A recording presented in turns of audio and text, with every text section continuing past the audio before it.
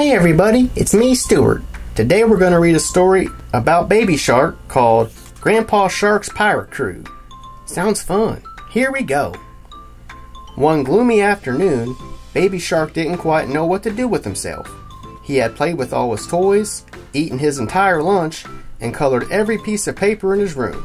So he swam outside to look for something to do. That's when he noticed a treasure chest. What's this doing here? Baby Shark said. Just then, Baby Shark saw something move behind the treasure chest. Was that an eye patch? Baby Shark said. I better go check it out. And when Baby Shark swam behind the treasure chest, he found Grandpa Shark. Baby Shark squeaked. Why are you wearing a pirate costume? Ahoy, Baby Shark, said Grandpa Shark. I'm the pirate captain. Do we dare hunt down me lost pirate crew? Baby Shark's eyes sparkled. Ooh, a hide and hunt pirate game. You always have the best ideas, Grandpa Shark. I love hunting. Arr, Grandpa Shark said. Then this will be easy for ye, matey. I'm on it, Grandpa Shark, Baby Shark said as he swam off toward the horizon. I'll definitely find your pirate crew. I mean, arr, I'll find ye pirate crew, ye scallywag. Baby Shark splashed toward a creepy cave at the bottom of the sea. Could someone be inside? Baby Shark said. He was starting to feel a little nervous. It was a it was such a gloomy day and this cave was starting to look pretty spooky. Hello, he called out. Is anyone there? Brap, brap. Baby Shark knew that sound from anywhere. Daddy Shark, what are you doing here in this cave? You're not a pirate. Daddy Shark laughed. Of course I'm not a pirate. I'm a trumpet player. This cave has great acoustics. Just listen to this. Brap. Next, Baby Shark swam past a forest of kelp and seaweed, and out of the corner of his eye, Baby Shark thought he saw a pirate hook. Could it be the pirate captain's crew? he said. Time to put my hunting skills to the test and find out. Grandma Shark, Baby Shark said, what are you doing here in this seaweed forest? Grandma Shark chuckled. Hello, my precious baby shark. Well, I'm tending to my seaweed garden. It's high time I got rid of these pesky coral weeds.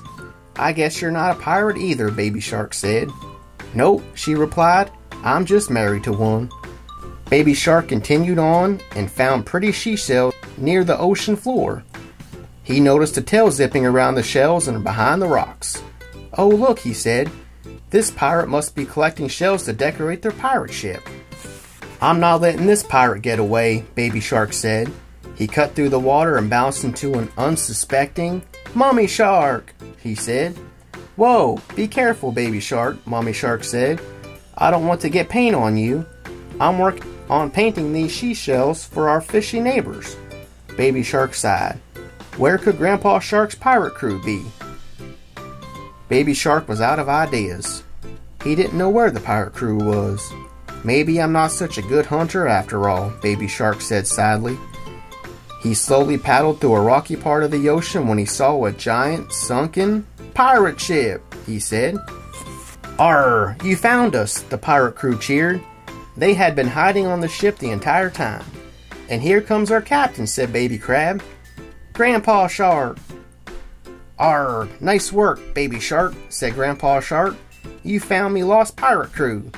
You're too good at hide and hunt. I love hunting, Baby Shark said, but I think I'd like to try and hide. Okay, Grandpa Shark said. Avast, ye scallywags. Batten down the hatches.